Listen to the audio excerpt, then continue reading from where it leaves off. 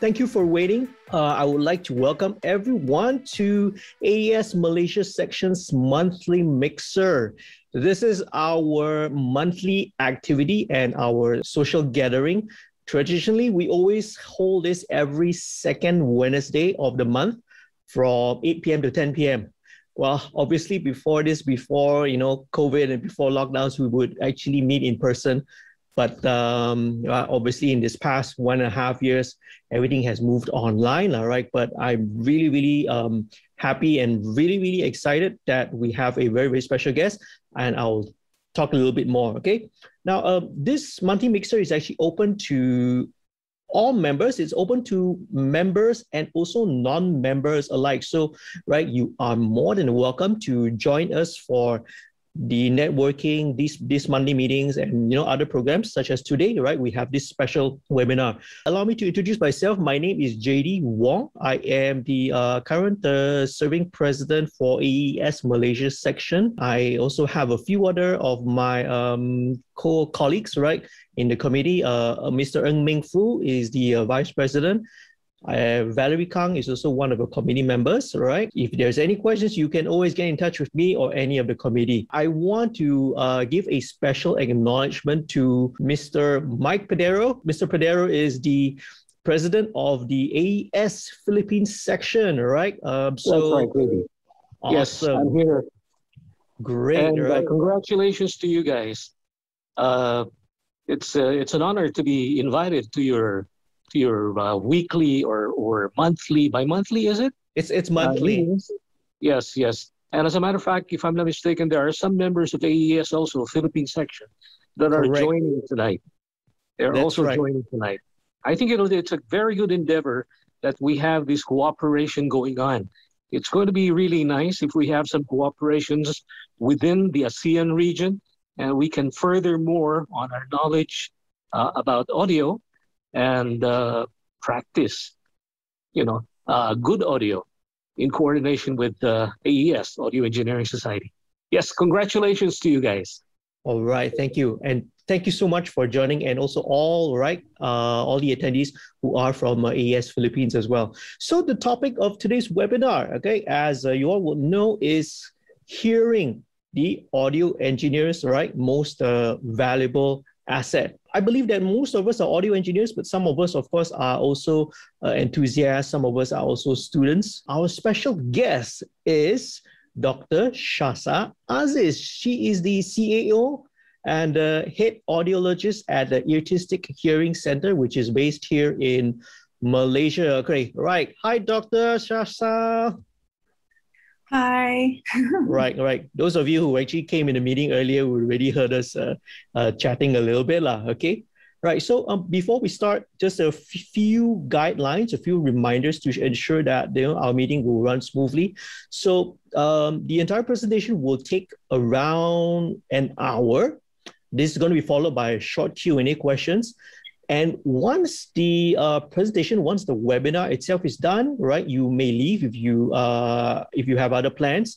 But but for those who wish to stay and you know hang around until our meeting ends at 10 p.m., right, you are most welcome to do so. Lah. Second point, please ensure that your microphones are muted when you're not speaking, right? So as to prevent your right background noise, feedback, echo, and all that. Okay, right? We're all audio engineers. We all have to practice good audio as well when we are attending all the uh, all these kind of online and, and online meetings.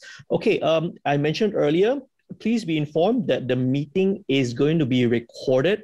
So if you don't want to be recorded, please you um, feel free to turn off your camera. Okay, this is just um, uh, just to let everyone know. Okay, uh, if you have any questions, right, for Dr. Shasa or AES, right, or myself or any of um, uh, the AES committee members, please type them in the chat so we will bring it to Dr. Shasa's attention during the Q&A session, right? Uh, but if you have a question that you suddenly that suddenly pops up in your mind, okay, you can right go to the reaction side, right? Just raise up your hands, okay, and we'll get to the question ASAP, okay.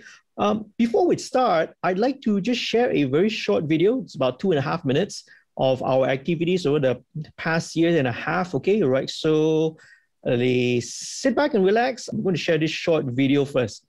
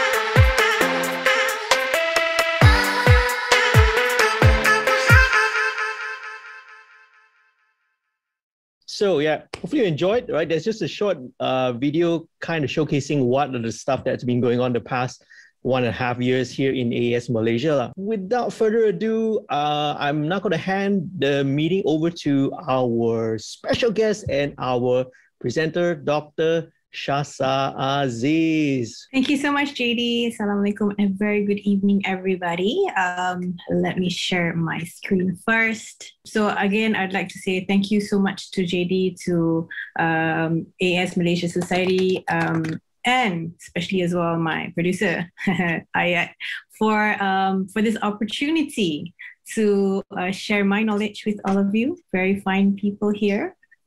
So um, please do ask questions if you have any. Okay, so a very quick one uh, about me. So I am an audiologist by profession.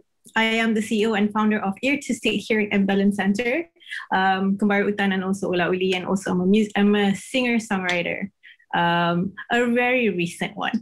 So um, uh, I've I started my career as an audiologist when uh, wait um, I'm not going to give away my age, but a while ago, and I did that in UCL, University College of London, and I did my Doctor of Audiology in Florida. I was staying in the UK for almost 10 years, but I was working in St. Mary's Hospital for about six years and then I decided to come back home to Malaysia, and I worked a little bit uh, for for a bit at uh, Oticon Malaysia, which is a manufacturing company, um, and then I decided to open up my own company. So the name is Eartistic because I wasn't sure whether I want to go to the clinical side or the musical side. So it's not those typical, you know, like Best Hearing, Audio Lab. They're all very typical names for hearing aid centers. So um, I'm definitely in between because. Um, to be honest, um, I've always been in the world of music since I was little. I've been a dancer, music musician, and uh, I was an ice skater. Um, so a lot of my life revolve around music. So I always, I've always wanted to become a music engineer, but I end up being an audiologist. So maybe this is my way to go in there with everyone here. Um, at least I, I'm able to share my knowledge with you. So again, if you have any questions, just just give me a buzz. At Eartistic Hearing and Balance Center, we see patients with anything to do with the ear, literally from the prevention, uh, diagnostic to rehabilitation. For today's session, I'm going to talk about um, how the hearing starts, then how do we cure it, and then at the end, I'll talk about how do we preserve it, because that's the most important part for all of you today right? Because making music, you, need to have good hearing to make good music, right? I've got about seven branches across Semenanjung, Malaysia, um, but I'm mostly in Kuala Lumpur. So I see patients for hearing, vertigo, and tinnitus, and we do the assessment as well as rehabilitation. So we partners with a lot of hospitals and a lot of brands for us to uh, cater Malaysians. Okay, so let's talk about hearing. I was going to ask this question, but this uh, page popped up too early. I was going to ask you guys, do you know when do we hear? When we start hearing? Uh, I'm assuming that you've already re- uh, you've already seen this. So we can we start hearing at the age of um, uh, five months in the mom's womb. So we we can hear literally very early in state in in in uh, in our life. So um, that's that's how early we are exposed to sound. And this is how the anatomy of the ear looks like. So can i know from everyone here has anybody here done their hearing assessment? So if you have done just put yes in the chat. Okay that's that's a bit of a yes. A long time ago. Okay when i was really young. Okay. Brilliant. So we have some who've done who've who have done it and some who have yet to do it. So hopefully you will do eventually. Uh, okay, so this is how our ear looks like. I think we all know because this is our asset. So there's four parts of the ear. In this picture, you only see three, right? Actually, that's four parts of the ear. We have the outer ear, we have the middle ear, we have the inner ear, which is the main part of our ear. Not really, actually. The brain is the main part of our ear. So we have the auditory cortex. So the sound that comes through our ears passes through from the outer ear, middle ear, and uh, to the inner ear, which is the cochlea. Uh, the cochlea acts as a gate to the main part of the brain, which is the auditory cortex, where it's, it processes sound. That's how all of you beautiful people make beautiful music. Okay, so of course, for you to make a beautiful music, the door has to be able to open properly, right? So that's where uh, cochlear is so important. Okay, so I'm not going to bore you with like too much clinical parts. So um, again, that's the outer ear, the external ear, where we have our earwax, we have our ear canal, where we put the um, headphones, where we put our earplugs, everything obviously over here. And then the middle ear is where um, the aeration is needed. Have you ever been on a, a uh, on a car ride or on an airplane where you suddenly felt like oh there's a pressure building up your ear? Like and then you have to blow your nose to pop it up. So that's where the middle ear come into place. The, the whole idea of middle ear is to um, make sure that the pressure inside our body and outside our body is equal. So if there is a, a difference in pressure, then obviously you will have a buildup, like uh, you will have a pressure buildup. And when that happens, you can have infection. Okay, so uh, so obviously that's the middle part of the ear. Now these little bones here, so important. These three little bones here actually um, imparts information from the outside, which is the acoustic information, into vibration, and this vibrating uh, bones will then uh, give the input into the uh, cochlea and then through the fluid inside the cochlea, that's when um, it, um, from the vibration, uh, it then changes into electrical uh, pulse into our brain. So that's how sound obviously passes through our um, ear sections or those four sections. Now, the most important part of our cochlea is this little hairs So these are how healthy hair looks like. Okay. So when we are born, or uh, when we are obviously nearing to five months, when we're in the tummy, this is how beautiful our ear um, hair cell looks like. So this is placed in the cochlea. So I'm going to show you a video in a minute because maybe the way I explain is not so clear. So, but literally, this is what is the most important part of our ear, which is in the cochlea, which is the hair cells. Because these hair cells, when it dies, it will never, never ever come back. Okay? So, this is your asset. This is the asset that we want to take care as much as possible. We are born with 30,000 30, of it, but of course, through wear and tear, we will lose it the more wear and tear that goes through it, the more it will die. So I'll show you a video that explains how it moves. okay, get ready to dance with the hair cell.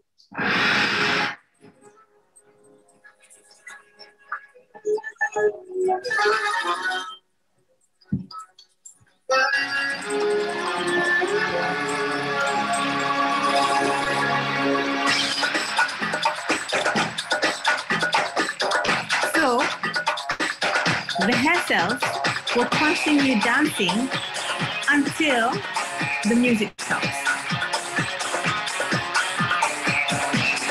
So can you imagine the more energy these hair cells have to move, obviously it will die. On the occupational health kind of uh, section, we will call it uh, when you are overexposed to it more than it should be, it will call it will be called a temporary threshold shift. You will lose it temporary and you will have that ringing sound. That is just telling you that you've overused it. And then it'll come back.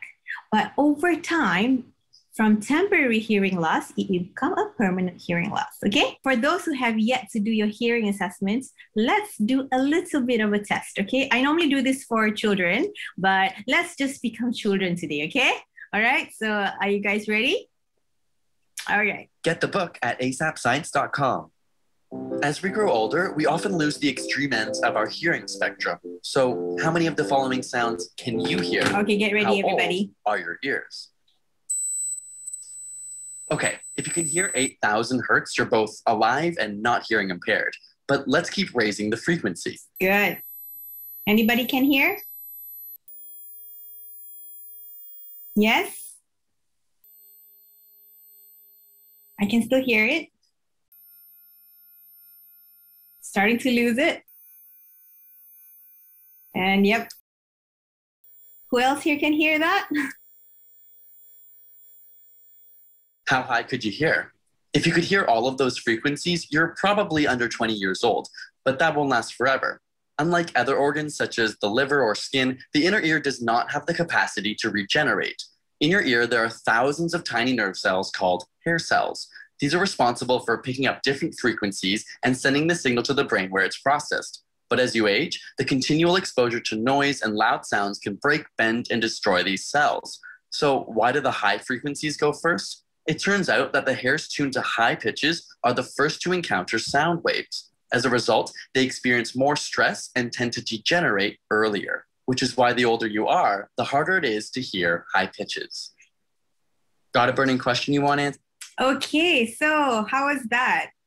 That was that's a very quick hearing test. So that's just checking your frequency. So we can hear from 20 hertz up to 20,000 hertz. So that's how big our hearing range is uh, you know are and uh, obviously we start losing the higher frequency first because if we look at the cochlea which is like a snail shape if i can go back to this slide over here. So it is a snail shape right? The most exposed side is actually the high frequency. So because due to wear and tear they die first.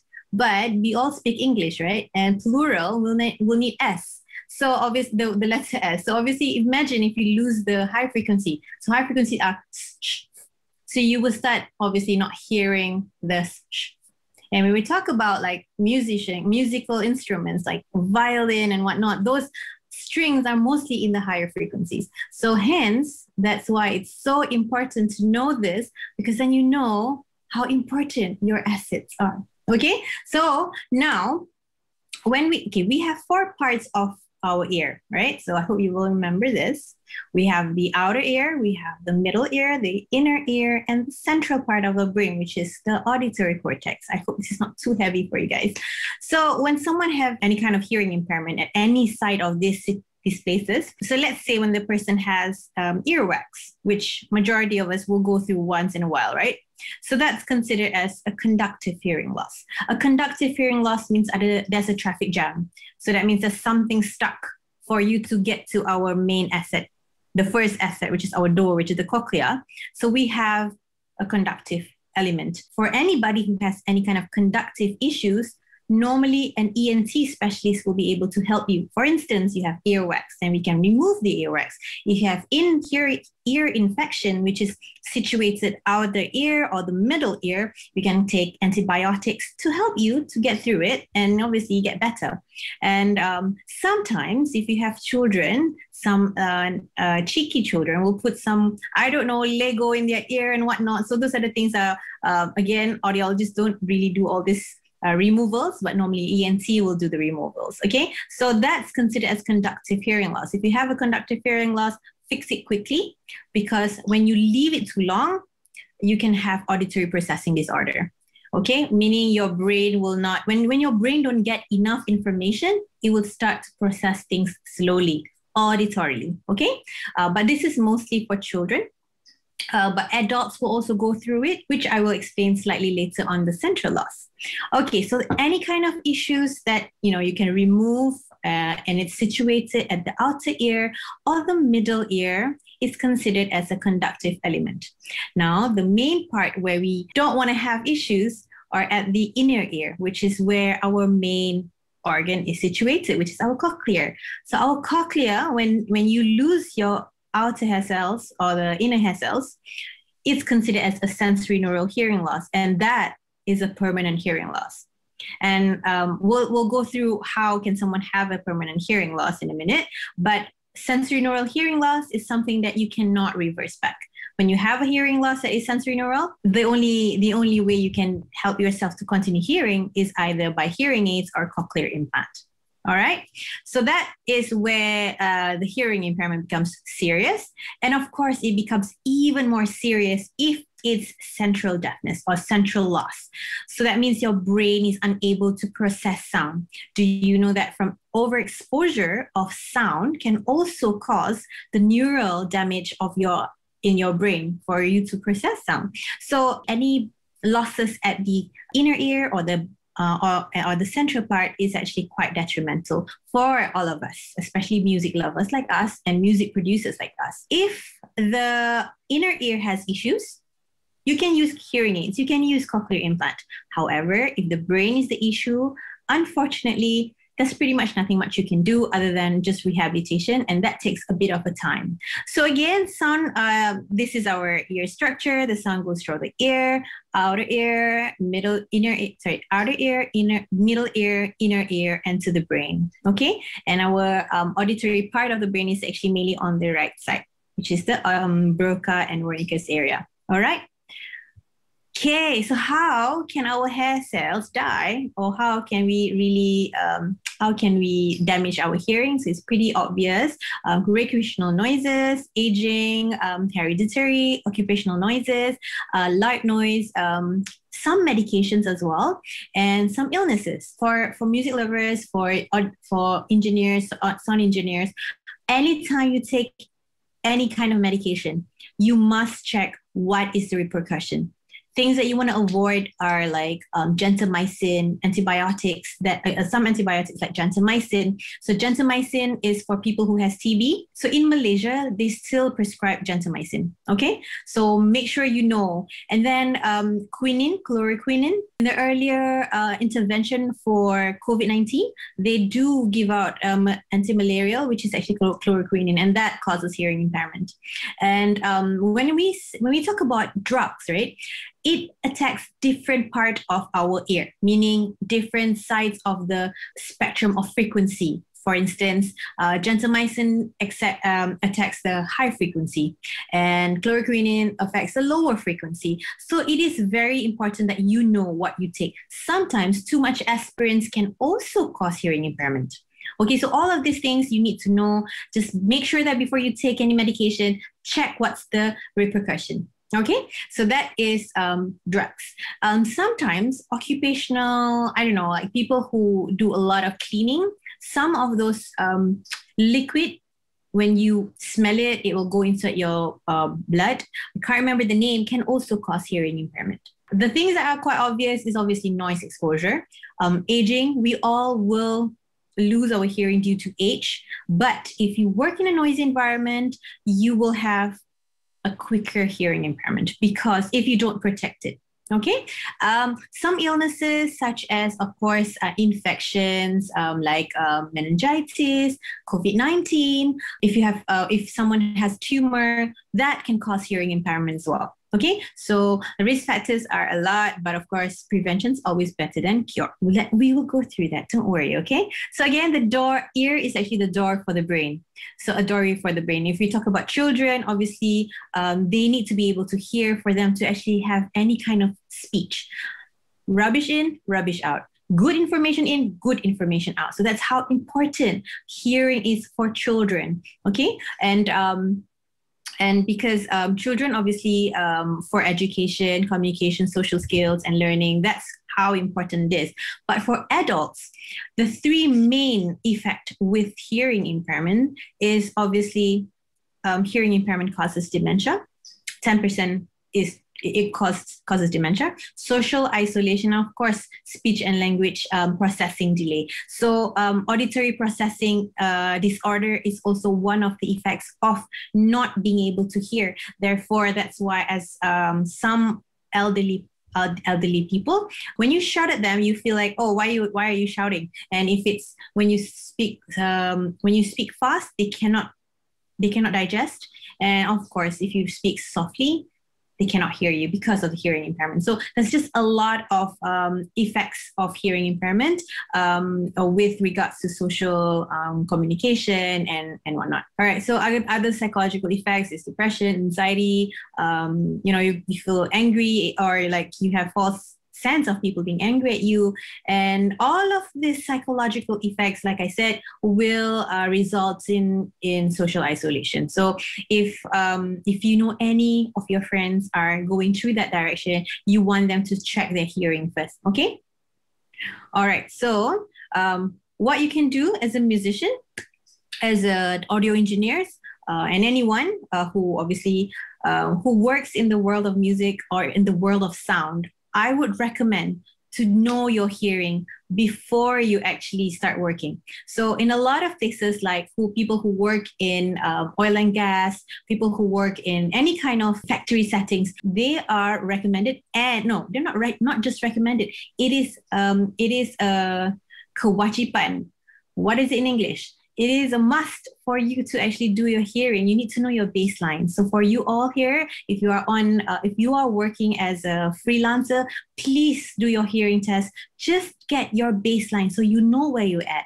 And then every year check your hearing and, and for me uh, for all of you here and if you are a member of aes um, for Eartistic, you can just come and do your hearing test. We'll allow you to do it for free. We only charge you if you have if you guys have any other like if you want to buy whatever. But um, this is my way of giving back to society. You guys can come and just come and check your hearing. If it's a screening, it's free. So just come and check your hearing, but know your baseline. When you know where you're at, then you know after that is it is my hearing needs caused by whatever. Then you must you can know, know okay. All right, so we do newborn hearing screenings. I'm going to go quickly. So um, every age is tested differently. Okay, so we have when you are when someone's born, uh, we do a screening AABR or AE. It's just a test where you don't have to ask them to press the button. As you, um, if for all of you who have had hearing assessment done, you know that um, the test goes pretty easily. Uh, you're going to have to go through all the frequencies from low frequencies to high frequency, blah, blah, blah, blah, blah, blah. And then at every frequency, we need to know what is the softest sound that you can hear at every frequency. Okay, but like I said, our hearing is from 20 hertz up to 20,000 hertz. But when we perform hearing assessment, it only covers from 500 hertz up until 8,000 hertz. Why? Because this is the speech range. And if we have to do all the range, I don't know when we will ever go, we will go home and if we can finish all our patients. So, but for music, for, for all of you, if you want to know, there is an extensive uh, extension uh, hearing assessment, but you're gonna have to make sure that the hear the, the audiometer is uh, calibrated up to 20,000 hertz. Because normally um, audiometers are only calibrated up to 8,000 hertz. So just so you know, before you go into it, just ask them, uh, is this audiometer actually calibrated? So all of this you need to know, okay? All right, so coming back to the hearing assessment, um, the, the most, the, the best is when you, when uh, the typical test, which is the pure tone audiometry, where you put the headphones on the ear and the audiologist will ask you, okay, every time you hear the beep, you press the button. So that is the simplest way. Why? Uh, it is simple, but it tells us everything, meaning it is assessing the pure tone, not speech. Yeah, speech is a complex tone. It's a complex signal. I'm sure you guys all know this, but I'm just saying when we do hearing assessment, is pure tone. But it gives us an idea of every frequency. What is your threshold from low from 500 hertz up until 8,000 hertz? Okay, so again, it goes from outer ear, middle ear, inner ear to the central part. So that's why it's the best, even though it's the easiest. But for babies, they can't really tell you, okay, I can hear, I'm going to press the button. No, that doesn't, doesn't work, isn't it? And it goes the same way for children with autism and adults with dementia. So we have other ways of assessing. For babies, when they are born, they will do a hearing screening called AABR and OAE, which is uh, auditory brainstem. It goes to the brainstem. If you see the wave, then okay, hearing is fine. Okay, so all of you here, please make sure that if you have a baby or your family has um, um has uh, delivered new babies, just make sure they do a hearing screening. It is a must now in Malaysia, but there are still some hospitals don't do it. Okay, um, I don't, I'm not so sure about Philippines, but I'm pretty sure almost all of our Asian countries have now have gotten um, newborn hearing screening. And of course, as the child grows older, the assessment becomes more of like an adult type. So of course, uh, we will start with otoscopic examination where we see your ears and then we will have a middle ear test. Um, this is the middle ear test. So this is a hearing assessment. Uh, this is the tympanometry where we want to see the outer ear from outside top, up, up until the uh, eardrums. And then you want to check whether the eardrums are working fine. We use a tympanometer. Uh, we will do a tympanometry. that's just to check whether there's fluid behind the eardrums or if there's any other issues that's probably uh, blocking the sound to come through. Okay, and then this is OAE as well. OAE is also another test, uh, which is where the, the adult or the child doesn't have to do anything. So if we have people who are malingering or lying, we normally do this because you cannot lie. This is a, an objective test. Okay, so we also have uh, brain, um, auditory brainstem response where we put like electrodes and whatnot. So again, this is for children and for um, uh, bigger children with autism and for sometimes uh, adults with dementia just cannot give back information. So these are all um, automated tests. And then we have behavior where it slowly becomes adult kind of like hearing assessment. Okay. So finally, for us adults, so we all do um, and the normal audiometry assessment. Like I said, in typical, sorry, from 250 hertz up until 8000 hertz. So this is the frequency that we will cover. And of course, we will cover uh, the quietest sound that we can test is actually negative 10 up until um, about 110 decibel. Okay. So obviously, I'm pretty sure everybody knows uh, we uh, measure sound through decibel. But of course, when you do hearing assessment, is the decibel hearing level. And of course, when you talk about environment, is dBA. And um, the whole idea of performing hearing assessment is to know your uh, thresholds, the type of hearing loss. I've already showed you guys the differences where we have conductive. Is it conductive? Is it sensorineural, sensorineural or is it the brain type? And you also need to know your audio, uh, dynamic range. Okay, if you don't know what dynamic range of hearing means, how loud can you handle and how soft can you handle? So normally our uh, normal hearing should be from sorry this is not um this is not his hearing loss yeah. This is just a picture and a, a picture of an audio audiogram, just in case if you know who this is. Okay, all right. So having said that, um, the dynamic range of our hearing, uh, uh, a normal person should be able to hear from uh, normal hearings between negative 10 to 20 at any frequencies. And um, the, the loudest you can handle is about 90 to 100 decibel. That is a comfortable range. So we call that a dynamic range. But as, we, as the outer hair cells dies, your uh, your threshold will probably goes down here and your um, your tolerance to loud sound will also go probably up here. So your dynamic range becomes smaller. That's when i said that some elderlies when you talk softly they cannot hear you but when you shout at them they will say why are you shouting? Because their dynamic range is very small. Okay? So that's where and normally we, we will give hearing aids where it will digitalize every sound that comes through. So it gives comfort, it gives clarity as much as possible. But just so you know, you lot will be the hardest to actually please because you know audio too well. You know how to hear too well. So from my experience, uh, if there's audio engineering in the house, like, oh my God, it's probably the probably my, my most nervous uh, kind of patient. So just so you know, okay, uh, please make our life easier. okay. Anyway, having said that, that is dynamic range. So, um, but not a lot of people do that kind of um, assessment, but you must know that that's available. So when you want to do perform hearing assessment, you want to know the threshold, type, level, and dynamic range ideally. Okay, so these are the types of um, intervention or type of hearing devices that we will give to patients who has hearing impairment. We have the hearing aids, we have obviously colorful for children, we have the cochlear implant, we have the body wands, um, and others. All right, so this is uh, every hearing aids are now digitalized. Um, everything is connected to our phone, and it's all Bluetooth. So um, it is it can be tinier, but I promise you that right now i would if i have a hearing impairment i would go the ones behind the ear and the very t- tiny tube uh, that goes inside the ear. So this would be my recommendation because it's easy it's um, hearing aids are not cheap yeah. Hearing aid is from anybody know anybody here knows how much is a hearing aid? No okay. no idea. Anyone? Anyone nope. knows how much is a hearing aid? Nope sorry. 1000 above. 1000 okay all right You must know this, okay? All right, so I'm going to share with you in a minute. Okay, 2000, 3000, okay. Generally, how long does it take before temperature shift kicks in and at the what level? Okay, wait.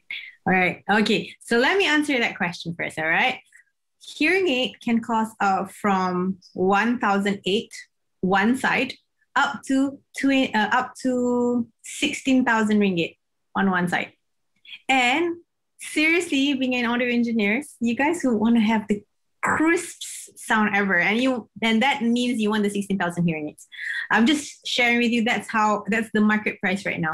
And because musicians uh, there is a um, in hearing aids we have a lot of um, um, features. And one of the features are musicians features music for you to enjoy music. Because hearing aids are made for speech. They're not made for you to enjoy music so for you to be able to enjoy music, that means we have to open up a lot of things. So that means the hearing aid has to have a lot of range. So hearing aids only goes up to probably, I think the highest frequency I heard is about 12,000 12,000 hertz. So again, you're going to lose all the beautiful melodies. Of, um, you will lose all the sound of violin and whatnot. So again, having said that, just so you know, this is how hearing aid is. Yeah. Okay. So there's other uh, accessories that comes with hearing aids. Um, and um, maybe Far, uh, if I want to know more about telecoil system because uh, telecoil system is not really famous in Malaysia, but any other parts in the Europe is very famous because uh, people with hearing impairment uh, wears who wears hearing aids normally um, it's mandatory for big um, like musical theater any kind of like um, places where a lot of people will go, they will have to put this telecoil system. Okay, so the telecoil system as, uh, allows hearing aid users to switch on to telecoil system. So whatever that the person, okay, let's take an example. In the UK, majority of the churches would have telecoil system. So whatever uh, whatever the priest speaks from the mic, it goes directly to the hearing aids as long as you switch on the telecoil system. Okay, so we also do telecoil systems. So if you have any question, I can talk to you guys about telecoil system. But that's um, just sharing with you. These are the things that are available in the world of audiology and a world of hearing. So it's not the end of the world when someone has a hearing impairment, but it's a lot of money to spend. Okay. All right, so this is the best part. Okay, protecting your musical future. Okay, so I'm very passionate about uh, prevention. So we've talked about uh, we've talked about how hearing start. I mean, how the hearing pretty much works, how it looks like, how the sun comes through, and, and how the sound is processed. Um, I'm very sorry if I'm very quick, but I would like to cover a lot of things today. So uh, if you have any questions, then you can ask me in a minute. Yeah. So we've covered all of that, and we've also covered um, uh, what happens if you have a hearing impairment. Now let's talk about prevention. Uh, protecting your musical future is definitely protecting your hearing. So you want to be able to protect it when you are doing your performance, when you're doing your mixing, when you're doing your practice, when you're rehearsing, because you want to definitely have your hearing till the end of your life, right? So any kind of loud sound can cause irreversible damage. And I think I've already showed you. What I didn't show you is how the damage hair cell looks like. I don't know why it's not in my presentation. Not to scare you, but just to you know, just get you guys to see how it looks like. Having said that, once you have a hearing impairment, once you lose your outer hair cells, there's no way for you to get it back, unfortunately. But if you don't remember whatever that I have shared today, but this is one most important thing that I would love you guys to please remember. If you suddenly lost your hearing, you have 72 hours to kind of like, um, you know, when someone's someone is about to die and they uh, or they lose their heartbeat then you have that thing right? So you only have till 72 hours to get back your hair cells to uh, uh, from like coma to go back alive. So uh, normally what ENT specialists will actually do is to give you steroids to, to get back your hearing, okay? And sometimes infections can cause this, overexposure to sound can cause this um, uh, from, for instance, a traumatic uh, sound um, exposure. Um, we had patients who were sitting next to the um, um, alarm and of course is a traumatic experience, right? So you have 72 hours to inject the steroids to get it back alive. But maybe not 100%, but you have a little bit of harapan lah, you know? So a little bit of hope there. So again, uh, that is something that please, if you have a sudden hearing loss, please go straight to the emergency. Okay? All right. So next, as I was saying, um, loud sound can cause irreversible damage, and you all know that music is not a noise. Music is music in whatever whatever loudness it is music is beautiful right? The louder it is the more exciting because your heart starts pumping. But you know that when your heart starts pumping that means your your outer hair cells are pumping too. Okay just so you know yeah? Okay so again repeated exposure to loud sounds can cause hearing impairment a permanent one and tinnitus. Anybody here has tinnitus by any chance? Or do you know what's a tinnitus does anybody here have tinnitus or do you know what's tinnitus? Okay, this is very important. It happens sometimes to me as well. Okay. Uh, okay. As much as we hate to admit it, but yes. So so tinnitus is a ringing sound or a sound that only you can hear. Nobody else can hear other than yourself. So um, tinnitus I have tinnitus, I'm afraid. I used to do a lot of performing arts. I used to be a dancer for tourism. So that's why I'm really excited when Mr. Wong was saying like he does all things in IB. Yeah.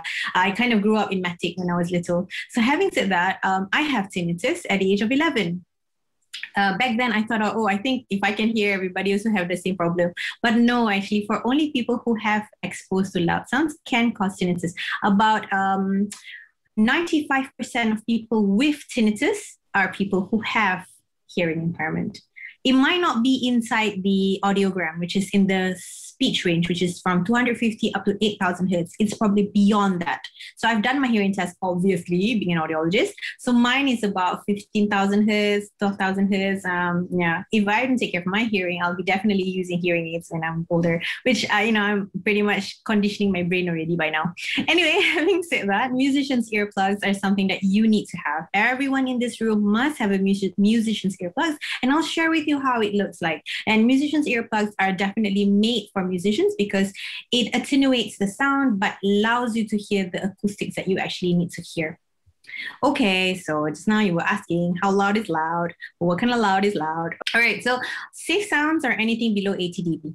All right, so how do you want to know? Uh, download sound level meter in your phone, okay? Just download it and um, pretty much you will know if you're in one uh, with that uh, I think nowadays even Apple phone can actually measure sound. So um, everyone should get that. Yay! And 85 decibel or 85 dBA is considered as dangerous decibel. Unfortunately, majority of our sounds are above 85 dBA. So, but it's okay as long as you know how long are you meant to expose to these sounds. Now, 85 dBA is about eight hours. And the, and the hours gets lesser and lesser as it goes higher. So as you can see at 100 dBA is only 14 minutes, uh, 110 dBA is only two minutes. And let's have a look at our music. So again, this is how um, um, this is how you protect your ears.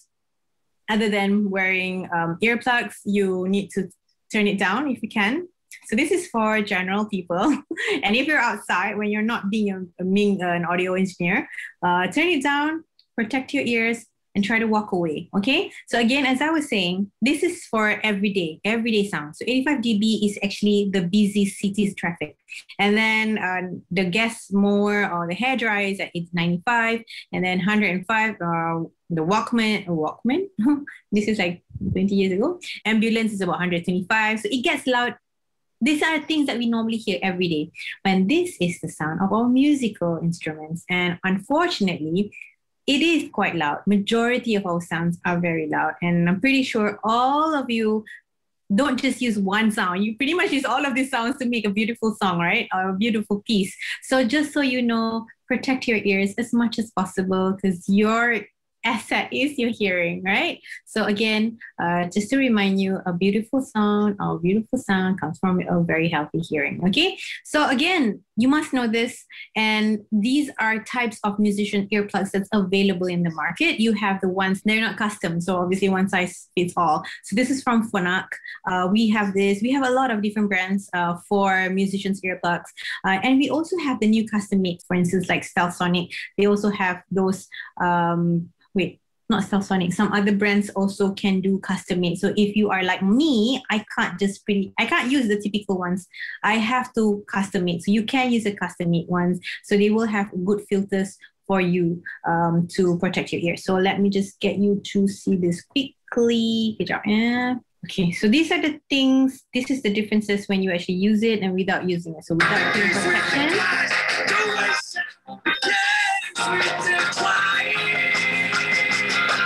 Okay, so that's without protection. Obviously with the foam earplugs.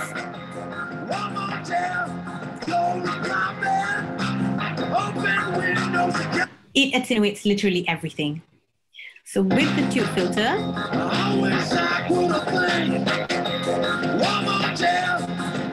slightly better. So obviously with the more canggih version of earplugs, it gets better lah, kan? So yeah. Okay, so those are the types of um, earplugs that you can actually um, use, um, which is the musician's earplugs specifically so coming back to the um, other kinds of things that you will be exposed, of course, in the ear monitor. So in the ear monitor, you there's a lot of brands available out there. So the one that I'm having on this uh, display right now is called the Stelsonic, which ones that we are working on or working with. So again, why do we want to use um, um, in the ear monitors? Obviously, for right now, obviously there's not much of a performance going on. However, um, we need to, I mean, the usage of ear, um, in the ear monitors will obviously, the right usage will definitely turn down the environmental sound, which will definitely protect your ears. And when you can hear things clearly, you don't need to pump out sounds more than you need. Okay, so again, in the ears in the ear monitors are good. Obviously, there are other ones. Um, there's a lot of brands in the market. Um, but the one that I'm sharing right now is called Stelsonic. All right, so now we're going to talk a little bit about tinnitus. Overexposure to sound can also cause tinnitus.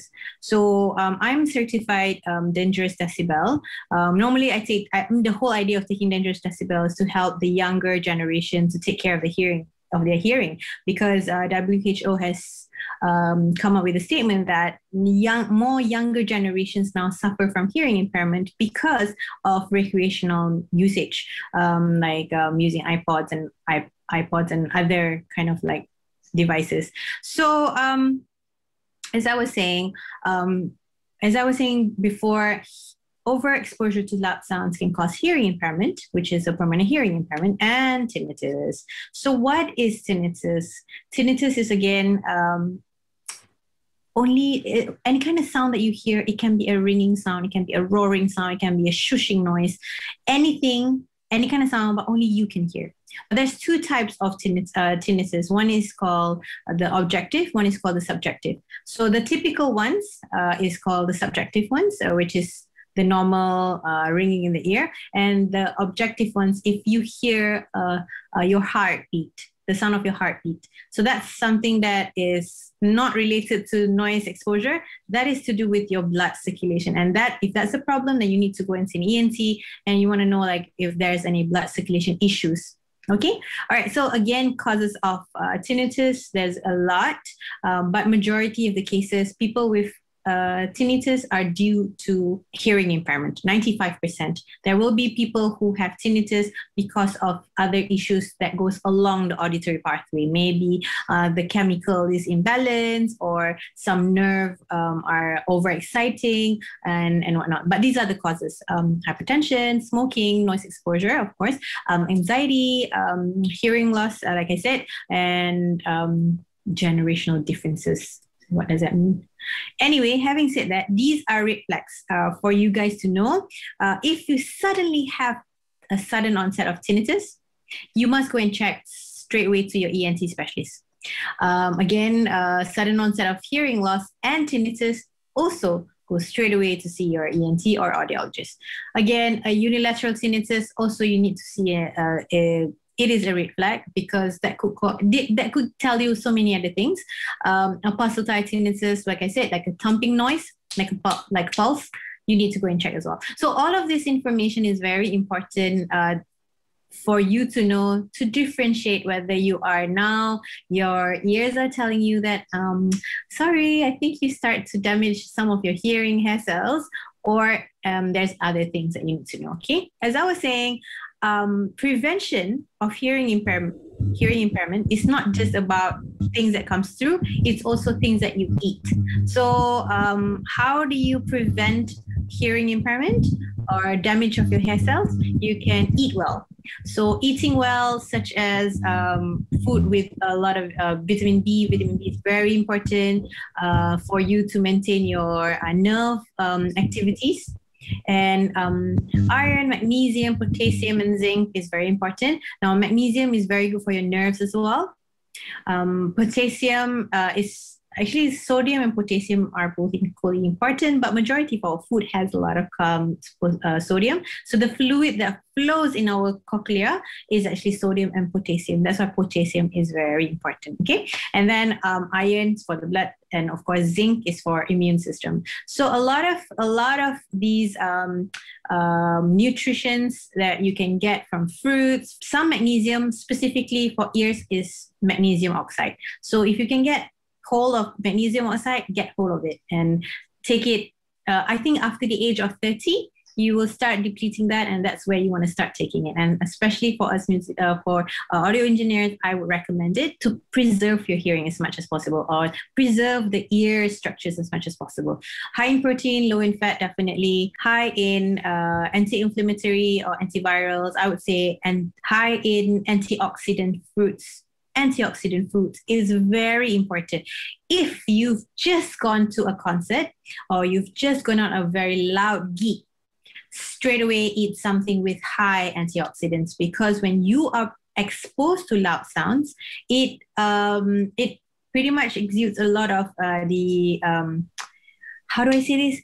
Um, can't remember. I can't recall the name. But point is to get rid the free radicals. You mean? Yes, thank you so much. Free radicals, that's the word. Thank you, Dave. You saved my life today. So again, uh, the free radicals, when you are exposed to loud sounds, you will exude free radicals. So um, the antioxidants, take it as soon as possible so that you can obviously uh, maintain your um, hearing as much as possible case, of course, um, unsaturated fat, all these things will just uh, will not allow uh, the blood to flow to your uh, ear as much as it should come. Okay. All right. So I think I'm uh, at my end of my session today. Um, in a nutshell, to make good music, you need to have good hearing. You need to protect your hearing in any means and protect it holistically, and not just uh, protecting your ears with hearing uh, with earplugs. Um, of course, um, you want to obviously eat well. You protect from the inner and the outer. I'm very because um, I'm very into nutrition, so therefore it's very important that we look at ourselves holistically. Okay, all right. So again, prevention is better than rehabilitation. Why I say rehabilitation? Because there's no cure. If you have hearing impairment, it is a permanent hearing loss. Yeah. So uh, again, prevention is better than rehabilitation. Hearing aids are very expensive. Although if you if anyone has hearing aids, I'll be very rich. But that's not the point here today. so my point here today is definitely prevention is better than rehabilitation and um, uh, definitely hearing intervention is the key to maintaining auditory processing. So, auditory processing is very important. We want to be able to compute whatever communication that we have with our peers. Nowadays, it's even more imperative because we use a lot of digital communication. We use Zoom, we use all this all of this technology to keep us sane, right? And for you guys, uh, definitely, um, you work with a lot of machines, a lot of technology. So you want to make sure that um, your brain continues to work so if you start feeling that I think I might have a bit of a hearing impairment, go and check. Like I said, get yourself a baseline. Like I said, you are all welcome to come to Eartistic. We do it for free for all uh, AES members. In fact, we are we we have gone on this musicians. Um, anyone who's a musician who is um, uh, registered with Seniman, uh, you get free hearing assessment because kita jaga kita, right? So there's no, I understand how um, the support that musicians, um, artists, and I'm not so, so sure. I just asked JD, how are you all protected? How are you all um, taken care of? Because I work with a lot of occupational health sectors. So um, a lot of people are protected because they work in uh, they work in uh, factories, but that's not I wouldn't say that's not your asset. Hearing is everybody's asset. But for audio engineers and musicians, that's like if you can insure something in your body, I'm pretty sure you want to insure your ears. Because I would do that. Right. So again, um, you want to maintain your auditory processing. You don't want to go to the root of depression or dementia because especially musicians, um, you live with music. Your life is music. And when you don't have your music, what else do you you you will feel lost because I would feel that way because I grew up with music. I've always wanted to be Mariah Carey, but I know my limitations. Therefore, yeah. So I mean, I'm happy to be Shasa Aziz. Um, but I'm I'm just saying here that it's really important for everyone to know from every angle. Again, take care of your hearing um, holistically, and if you have a problem, just get hold of the nearest audiologist that you know. I think that's all from me. And I hope you, it wasn't too quick. Uh, I haven't touched uh, vertigo, which I'm pretty sure you guys probably don't want to know. Uh, just so you know, if you feel dizzy when you hear sound, it's called Tullio's phenomenon. Tullio's phenomenon is telling you that one of because if you were to look at your ear, oh sorry, if you look at your ear um, structure, so I'm not going to take too much of your time, but this is my, my last but not least. Vertigo is my favorite part. That's my genre, actually. That's my real focus and cochlear implant. So, okay, so we have the, okay, so this is our cochlear, which is Cochlear. Cochlear is a brand. This is our cochlea which is our hearing organ. And we also have these three little semicircular canals. And this part is also in the inner ear. So if someone has infection, any part or anywhere, sometimes they will also have dizziness. Okay, so because they say they stay in the same house. So in our ear, we have the hearing organ and also our balance organ. Now, if some, if you, if someone has um, dizzy spells when there's too loud sounds, when the sound's too loud, it's called Tullio's phenomenon. That also means there's a there's some sort of concussion here. Okay, because this is obviously your balance system, and um, and, and it just tells us that there's something wrong with your vestibular system. Okay, so I hope everybody kind of like got all the important information that I would love to share. And I now will open the floor to questions. All right, that is awesome. All right, uh, thank you so much, Doctor, for right running us through you know all these questions. Um, we'll get into the Q and A right now. We've got a bunch of questions, right? Uh, just to pick up from where you left off, um, you mentioned about things such as um, social security and uh, especially those um, who are you know working in factories, oil and gas. For a lot of a lot of people, um, when they are health issues, it's covered by things such as social security and insurance. What about hearing? What sort of protections do do we have in Malaysia? Well, yeah, I suppose I in the context of yeah, if you can speak to what what's in Malaysia.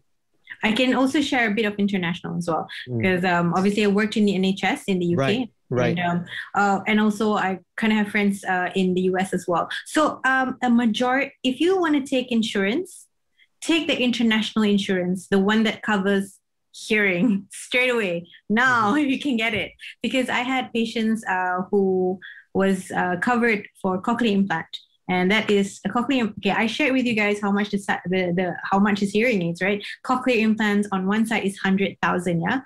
Uh, okay, so that's that's how much intervention of hearing impairment is expensive, right? So cause uh, so um first of all, I'll talk about insurance. So insurance in the US, you are very much covered uh, for hearing aids. Uh, of course, if, if you're a veteran and whatnot, you are also covered. In the UK, the NHS covers everyone, literally. In Malaysia, for so for if you work with um, government, JPA will cover. If you are a veteran, you will be covered. If you are uh, working in a, a, private sector and you pay the company pays SOCSO, you are also covered by PERKESO. So uh, we are also panel to PERKESO. So obviously, um, I don't see a lot of musicians Mm. Uh, I see a lot of people from oil and gas, a lot of people from um, any other industry, but not musicians. So that's why I feel it's so important that all of you must be part of SOCSO programs. Mm-hmm. Because this is considered as occupational hazards, right? So um, that is covered. Um, but insurance, there's rarely any coverage in Malaysia. So just so mm. you know, take international uh, coverage. Um, I will try my best to find out what's the what's the name of the uh, insurance. I'll share with you, JD, because mm-hmm. that's the only one that I I knew of, and that is like a uh, because this this family is a royalty, so they obviously go for a bigger, whatever bigger that they can get, right? So, but for us, we'll let's let's take that one if that's if, we can afford it right? So that is something that i would encourage. But uh, other than that um, if you're not in government if you're not um, mm-hmm. under any other um, uh, schemes then you probably not be covered okay uh, let's get to another question. This is from yogi right? Uh, yogi b shout out to you man. We on the question of drugs uh, aspirin actually it's quite surprising to me. I still wasn't aware aspirin can cause um, hearing loss how much what what's the dosage how much of aspirin cause and uh, how long is does does it affect for a certain duration Okay, I have to go back because it's, it's been a long mm. time since I checked it out. But mm. I know aspirin, a long use, long term usage of aspirin can cause tinnitus. So it pretty much affects the hair cells. Um, there is an uh, hold on, uh, aspirin and hearing loss. Uh, aspirin overdose and hearing loss. Yes, o- oh, over usage of it can cause hearing impairment. Again, I'm not so I, I don't have the amount that uh, uh, tells me the usage, how long it is, but I'll get back to you, JD. Okay. But definitely, if you just Google aspirin overdose and hearing loss, it will tell you all about it. And um, yeah, it causes hearing impairment, which is, like I said, it can cause mild to moderate sensorineural hearing loss mm. and tinnitus. I didn't share with you the level of hearing impairment. So, just so you know, a normal hearing is from negative 10 to 20, normal hearing. And then uh, 20 to 40 decibels considered as mild. 40 to 70 is considered as moderate hearing impairment. Mm-hmm. 70 to 90 is severe. 90 and above is considered as profound hearing impairment. Seriously, you don't want to get there No, if. Def- definitely. But, but normally we will lose in the higher frequency, can also go down. There's like no one, no one, bam, down to the highest, um, in the uh, higher frequency up to profound level because of overexposure. The first frequency that will die first from noise is actually uh, 4,000 to 6,000 hertz. So when you perform hearing assessment, you will see like, oh, good, good, good, good, bump, and it comes better. That's a sign of noise-induced hearing loss. So, like I said, go and check your hearing. So there was a question also about the hearing aids, mm-hmm. right? Because when we were guessing the prices, mm-hmm. um, is there any reason why there's there are those that price from around one thousand ringgit to sixteen thousand ringgit? That's like ten times the price. Yes. So what you're buying is actually technology. What you're buying is features. So the cheaper the hearing aid is, that means the lesser technology you have. If you don't really require to hear a lot, so for instance, let's take a person who the their daily activities are just going to work, come back to work, watch TV, and then sleep. That's all. I only need my hearing for uh, conversation all right so they can they can get away with that. And they don't like uh, they don't go playing they go they don't go outside to play golf. Because when you want to hear when you are what things that comes through our ears there's wind there's noise there's human conversation. And of course when you were hearing aids you want to have a conversation. That's the main point of hearing aids right? So the more features you need that means the more features you need to to uh, to eliminate noise, to eliminate wind, to eliminate I don't know whatever thing, then that means you need to buy more technology, and it's mm-hmm. a lot of um, lot of research done. Therefore, that's why uh, it's expensive. I don't think the thing, the cheap is expensive, but I think the research is expensive because hearing aid changes like iPhones every six months. There's always something new. So, but don't wait until they have like whatever latest, latest. Just get it if you have it, or if you know anyone has it, get it because the later you were hearing aids, the brain will start slowing down.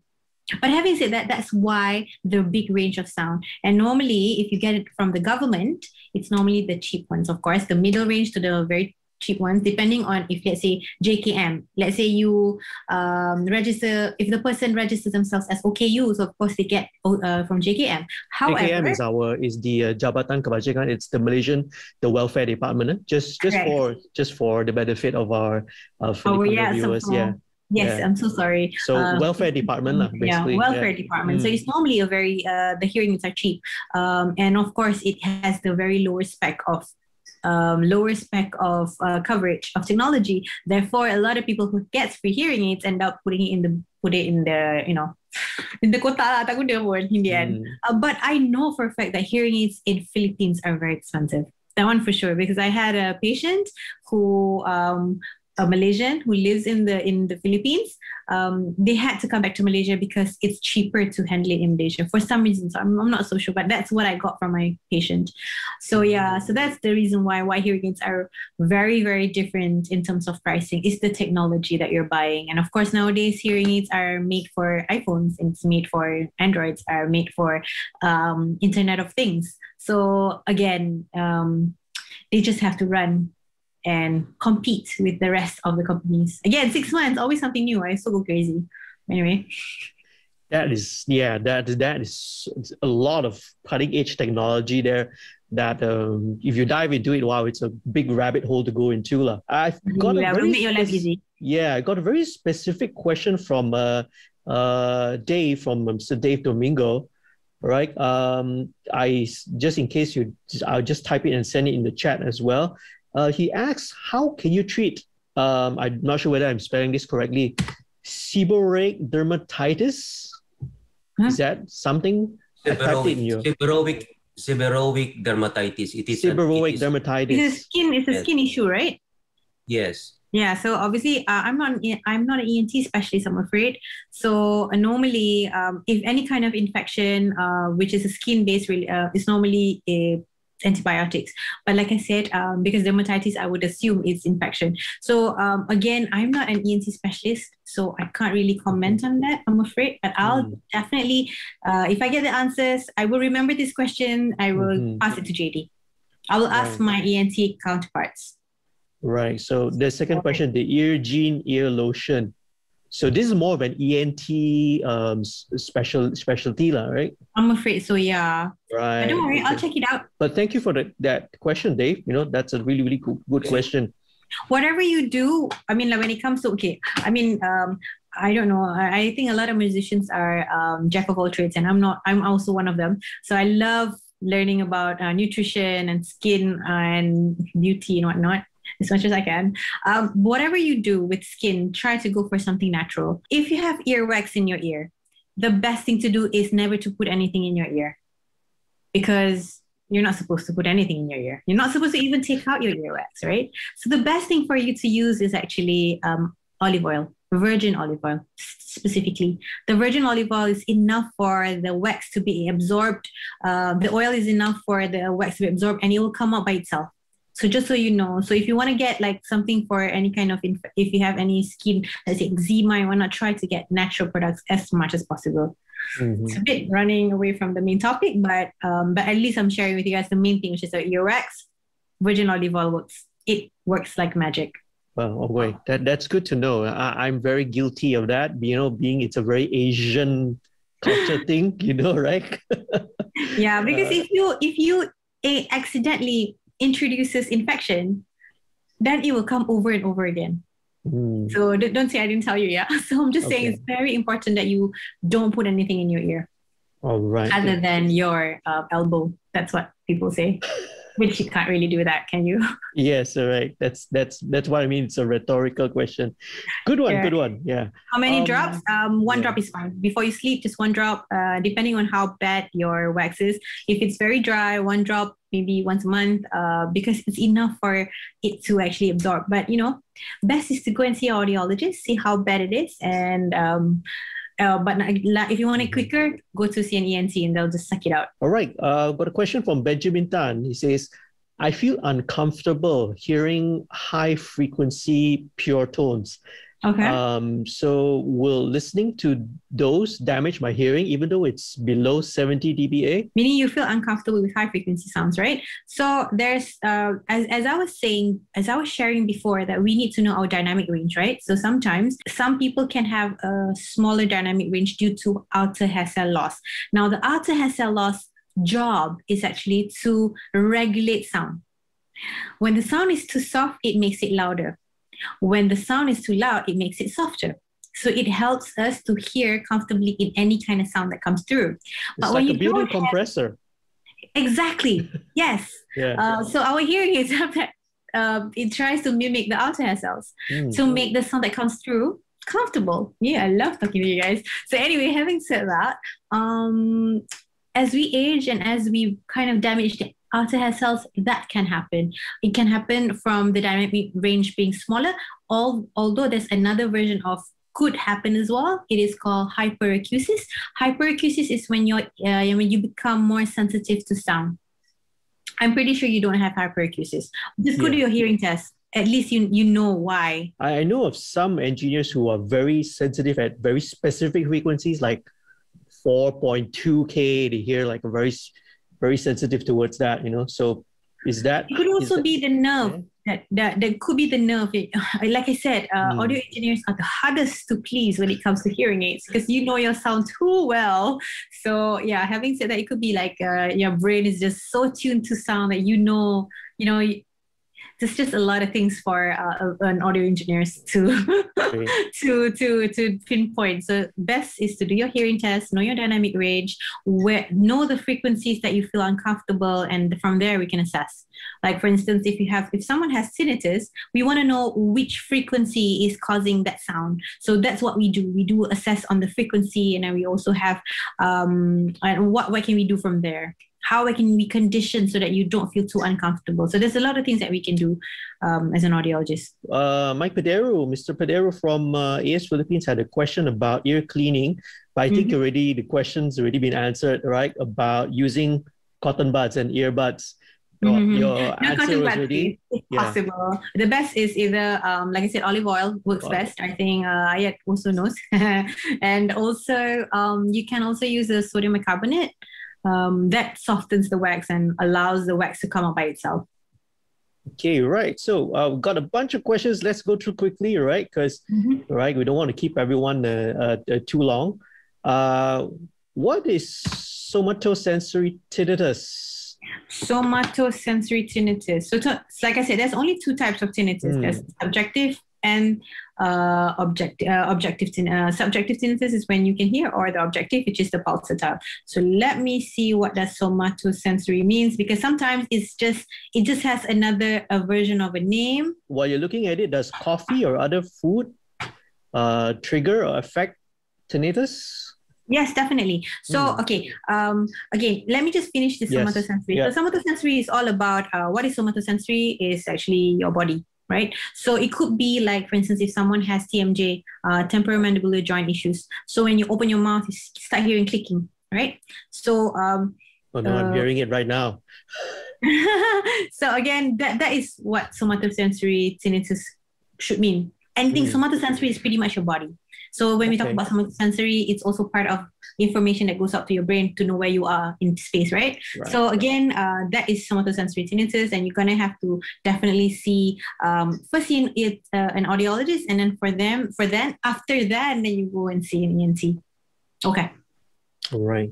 So cof- coffee or other food that affects tinnitus? Yes. So um, uh, what you want to avoid when you actually have to, if someone has tinnitus, is definitely coffee. Stress makes it louder okay, you can have coffee, but just so you know, if you overtake it, you need to know that tinnitus is not a disease, it's a symptom.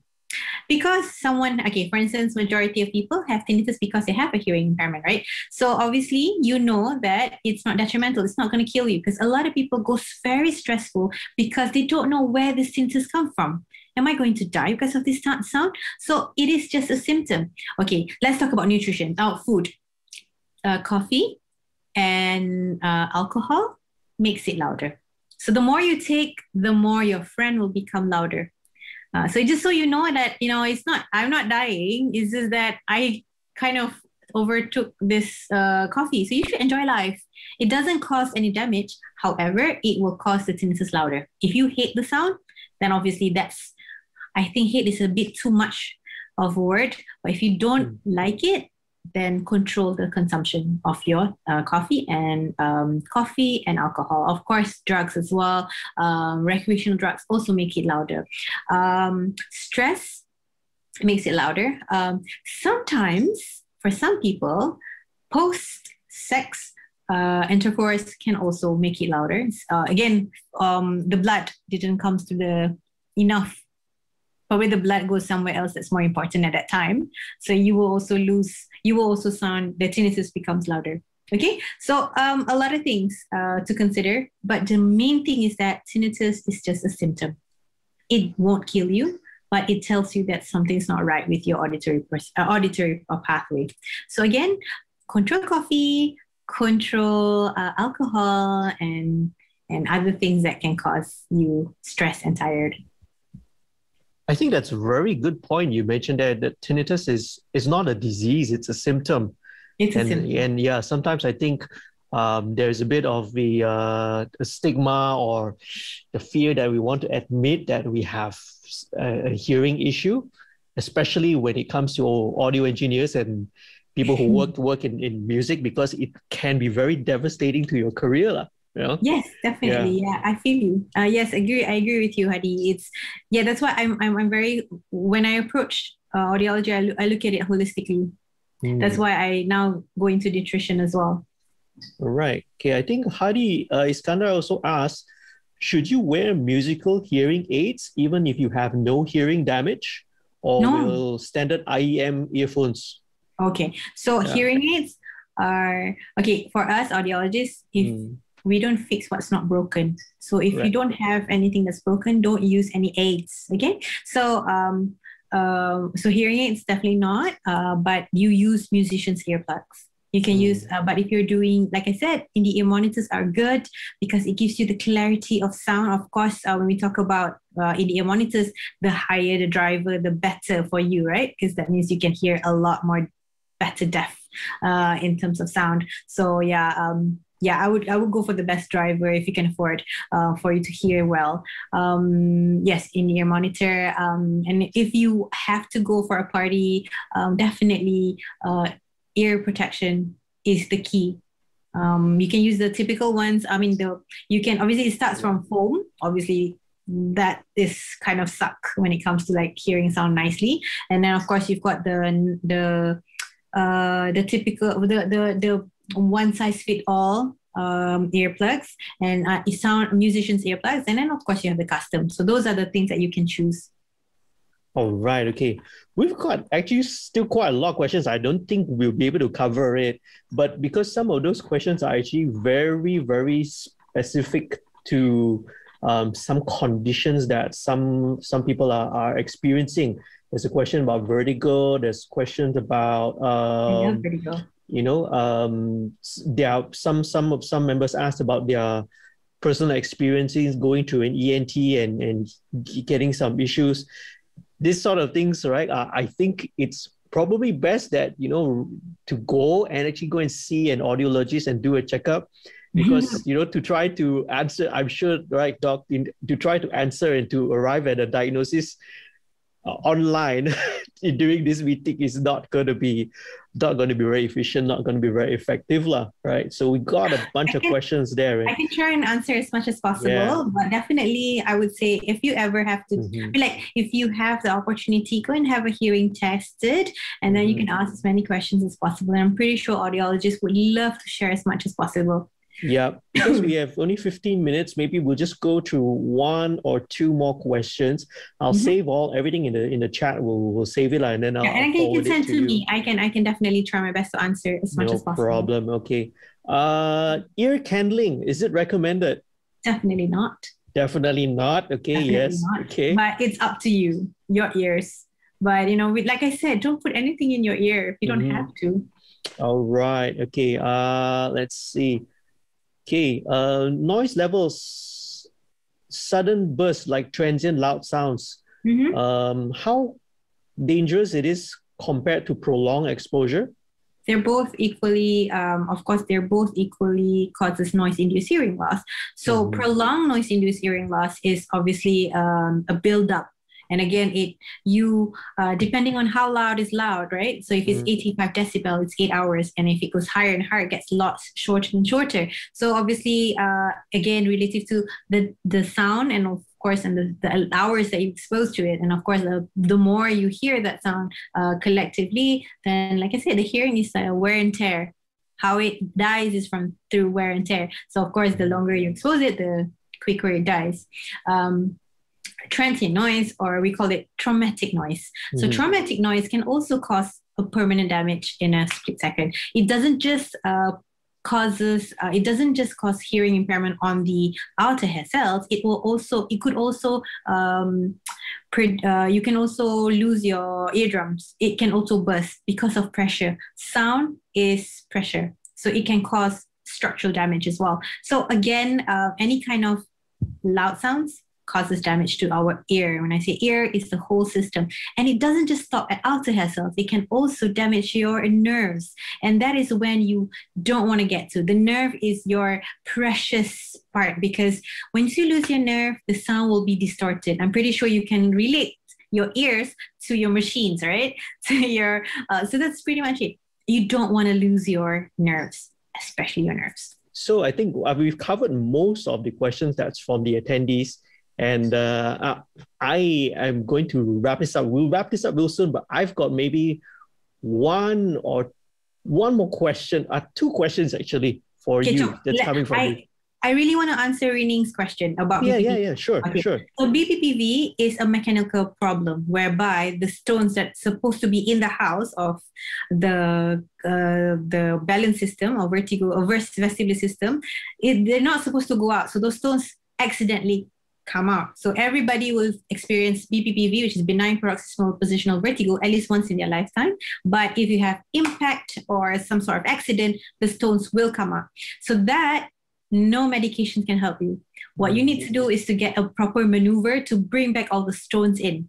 and it, you just need to do that once or twice and then you're done you'll be fine that's because when when someone has a vertigo you'll get nystagmus where your eyes will start dancing and it is you feel like the world is moving so that's that's a vertigo for you okay uh, and um, like i said if it's bppv no medication works uh, nutrition wise that is where vitamin d comes in people with lack of vitamin d especially now that we're all indoors I'm seeing more and more BPPV cases. cases. Mm. So for our calcium to stay in place, the stones are calcium carbonates. For them to stay in place where they're supposed to be, they need uh, vitamin D to hold them. So if you don't have enough vitamin D, then of course you'll have BPPV over and over and over again.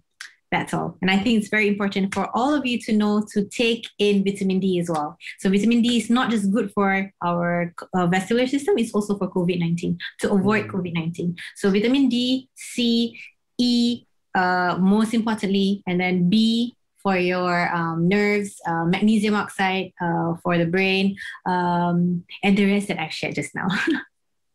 Okay, now your turn. You can ask me two more questions. Yeah, yeah, that's a good point about the the vitamin D thing, right? Uh, it's definitely something that has been brought a lot more to the forefront of um, common knowledge how important vitamin D is in so many areas, lah. Yeah, so that's that's an interesting point that you brought up. Vitamin D has got got related to to vertigo as well.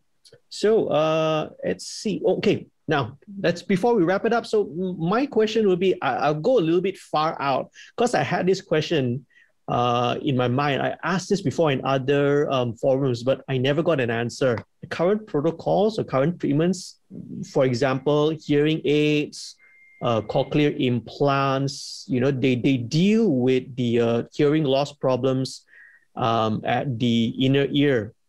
Mm-hmm. Are there any like you know um, treatments that are coming like you know uh, in the medical frontier that deal with with hearing loss issues beyond that you know for example i'm i'm like i'm speaking on my lane. I'm not a medical expert obviously right? I'm not a doctor at all. We hear that even there are some therapies using stem cells that can regenerate even eyesight you know? So you can even regenerate some um, some uh, some your um, retina uh, cells as well, or even things such as uh, Neuralink that, that that's coming up. Will it be possible to bypass your ears and send all the auditory information directly to the brain? Hmm. I love your question. Uh, there's a lot of study doing right now mm. where they are doing brainstem implant, but wow. uh, it is not a practice in Malaysia so much, but there is a light there at the end of the tunnel. We are getting there because, like I said, um, auditory processing disorder is real um, for the adults as well as for children. The numbers are not big, but there are cases, right? So, for instance, if you want to know if you have auditory processing disorder, you know that you, when you've done your hearing assessment, your hearing is fine. You can hear the tones perfect. Your audiogram is perfect. However, you have difficulty having conversation in a noisy environment. Your brain uh, is un- are unable to, is unable to process that sound. So yeah, I mean, a lot of studies going on right now, a lot of research going on right now, and of course, a lot of people are touching the brain right now. So, but uh, nothing, um, nothing that is uh, practiced as much for the brainstem, but there is something going on. Right. But having said that, uh, you're talking about stem cells for the eyes and whatnot. Okay, our outer hair, hair cells are the tiniest and the most sensitive part of our body. So once you touch it, it dies. So that's why we still have yet to find the right um, kind of um, uh, cure. Like we're talking about prevention is better than uh, rehabilitation, right? So, but they're still working on the cure. And uh, I think whoever finds it will probably be the richest person in the world yeah but have yet to find that person right yeah so to be take care of your hearing right everyone out there yes uh yeah it's quite a quite a nasty thought of uh having stem brain stem uh, implants but then it can be cool also. It's like a matrix, you see, you plug it into into your brain. You just you just never know what's gonna happen in 10 years time, 20 years never time. know, yeah, never what, know. what technology happens. Last question, uh, Doc. Mm-hmm. All right Now, um, this is for those because in AES we not only get uh, professionals who are already working in, in the audio engineering uh, in audio industry, but you also have we also have a lot of students. We also have a lot of younger people. Yeah. So, for example, maybe if I'm a I'm a student, I'm thinking, oh, you know, what kind of career path I want to go. Hey, you know, I want to study audio audiology. You know, um, is that you know, okay. is that a good path? Yeah. Oh, oh, well, I am still an audiologist, even though I like music better. Uh, but but I'm still an audiologist. Um, audiology, if you love biology, if you love the uh, human side of sound, you want to go into audiology. Having said that, the job opportunities are still slow in Malaysia but uh, we are getting there. Uh, people like me, I'm obviously trying to expand as much as possible so that I can have more spaces, more space for our audiologists to work. Uh, but um, due to the pandemic, it's it is definitely slowing down. But when you talk about audiology, where do we work? Obviously, we work in the hearing industry. We work in the vertigo um, space of balance. We also work in the occupational health um, segment.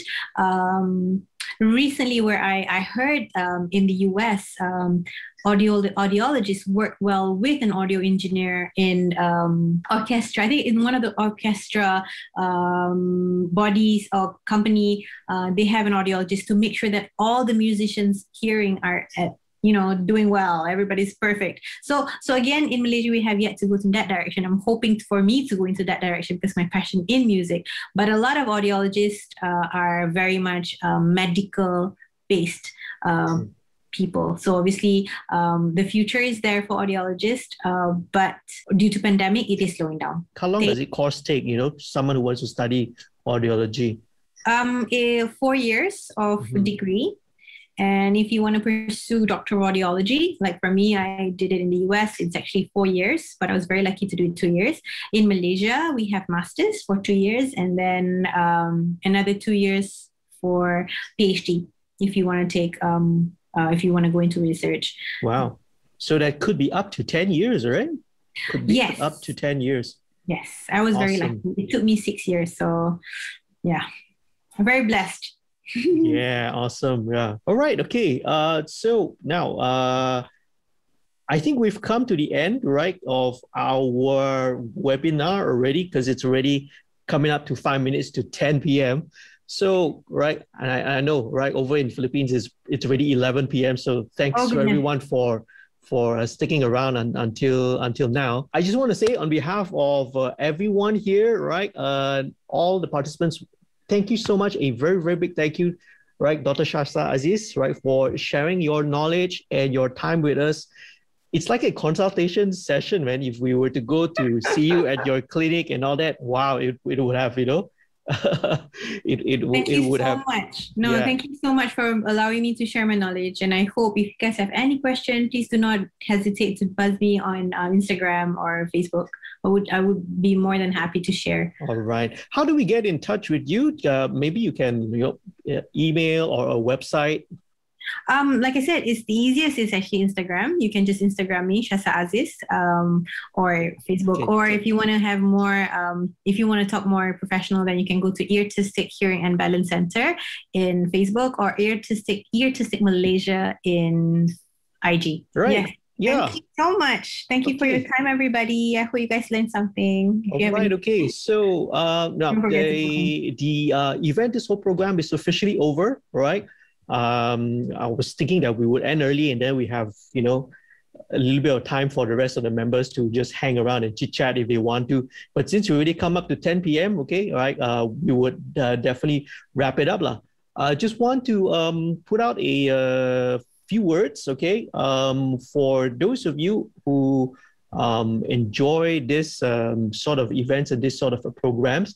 Uh, I do encourage that you join uh, AES Worldwide. You can do so at the uh, the website is aes.org. Okay, um, you get access to a lot of uh, content, a lot of resources, their their journals, videos, and you know access to all their programs uh, worldwide. Lah, okay. If joining AES worldwide is a little bit expensive for you, you can always join all right, our local section. So for us in Malaysia, we have the AES Malaysia section, right? And uh, over there in the Philippines, you have also the AES uh, Philippines uh, section as well. Okay, uh, Mr. Mike Pedero is the president. Okay, um, we've got a Facebook group. A just look for AES Malaysia. You'll find us there. We've also got Instagram, AES Malaysia. Thank you so much. Right, uh, Dr. Shasa. Thank you again, everybody. Thank you, everyone. Okay, so good night. Stay safe. Take care. All right. Thank you Thank so you. much for joining uh, this this program. Good night. Thank you. Good Thank night. You. All right. Thank you.